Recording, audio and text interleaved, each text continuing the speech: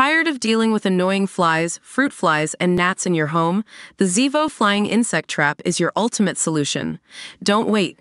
Check out the link in the video description now to get your Zevo Flying Insect Trap on Amazon and enjoy a bug-free home today. Knife-wielding attackers filmed their teenage victim as he lay bleeding on the ground unconscious while a heroic, blood-soaked Good Samaritan tried to save his life. The boy, aged 17, was ambushed in a car park I in the western Melbourne suburb of Caroline Springs behind a Coles supermarket at the CS Square shopping centre on Thursday evening. He suffered wounds to the upper body in the brutal attack, which the unnamed Good Samaritan said took a matter of seconds before police were called to the scene about 5.15 p.m. and paramedics five minutes after that. An ambulance rushed the boy to Royal Melbourne Hospital with knife wounds and on Friday he remained there as a serious condition. The man who came to the stabbed boy's aid said the attackers callously stood and watched the victim bleed on the concrete, with some filming the horrific scene on their phones and only one offering help to the fallen teen. The man told the Herald Sun he feared the boy would die as he desperately held his head off the ground.